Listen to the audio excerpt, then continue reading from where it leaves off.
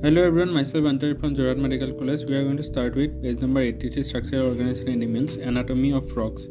We are going to start with uh, the reproductive system of frogs.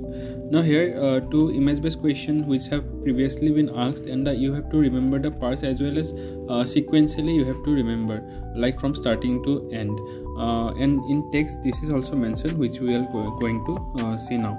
Now the frogs have well organized male and female reproductive system. The male reproductive organs consist of a pair of you have to remember a pair of earless ovoid testes, and uh, the uh, double folded peritoneum is called mesorchium. So mesorchium is nothing but a double folded peritoneum, and vasa efferentia are 10 to 12 in number, which arises from the testes. They they enter the kidneys uh, on their side. You have to remember on the same side uh, they enter and opens into Bidder's canal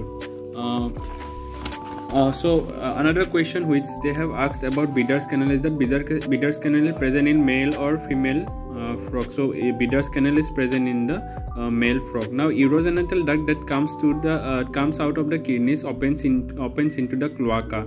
And in males they can they passes uh, in cloaca passes fecal matter urine sperms to the external uh, now, uh, in uh, female uh, frog, oviduct arising from the ovaries opens separately into the cloaca, and a mature uh, female can lay 2500 to 3000 ova at a time. You have to remember the numbers. And fertilization is external. You have to remember this term. Fertilization is external and takes place in water. And they have a larval stage, tadpole larva, which is very very important.